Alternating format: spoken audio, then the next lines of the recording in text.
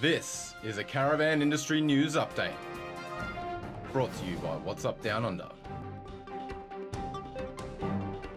Kris, always good to catch up, mate. What's new at Safari?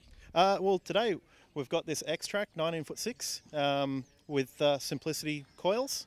So, what's that do for the consumer, the Simplicity coils, mate? Well, they're the only ones on the market at the moment with progressive rate suspension.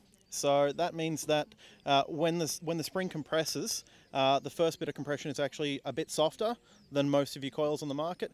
So it's a bit better for corrugations and stuff like that.